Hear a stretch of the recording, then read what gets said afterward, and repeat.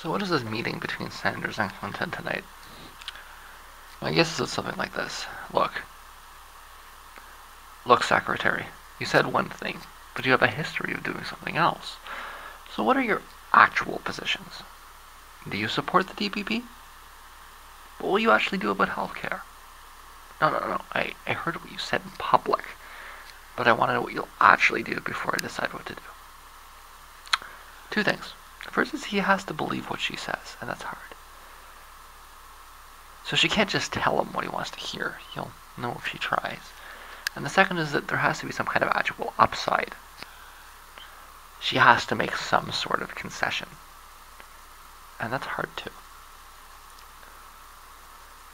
Don't assume the outcome of this is predetermined. She doesn't see him as an insider. She's not likely to really open up. She's more likely to see him and everything about him as a liability.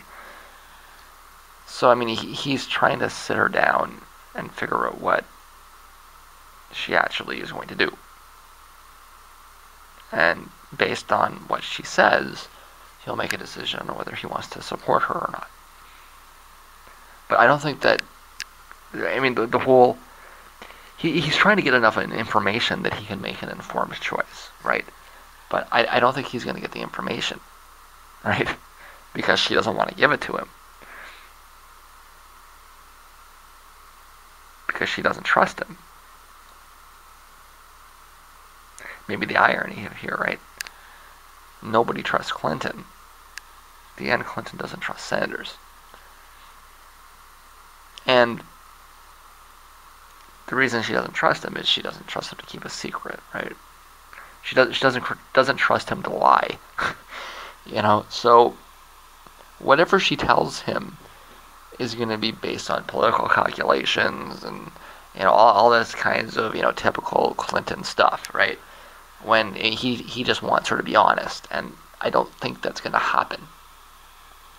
And if he can't get that straight answer, he's not going to endorse her. Okay?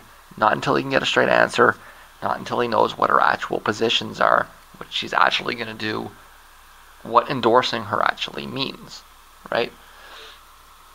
I mean, I, I think that you know most um, informed observers can get an idea of that nobody really thinks that she opposes the TPP, just as one example. Nobody really thinks she's going to do much on healthcare, but like, like what exactly she's going to do on healthcare is not entirely clear. Is she just going to uphold the status quo?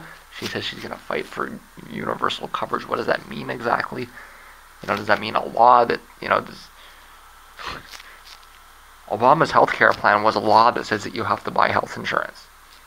When she says guarantee universal coverage, does that mean that she'll increase the, the penalties? Like, what, what, what does that mean exactly, right? You know? If, if you don't buy the health insurance, we'll send you up the creek. Like, like, like what does what does it mean, right? And and nobody should expect him to take a hard position until he's better informed. And it's hard to be informed on what somebody's positions are when they don't tell you anything that's true and everybody knows that they don't tell you anything that's true. So I mean, everybody you know assumes, expects, you know, it's just a matter. No, he has to actually know what she's going to do first.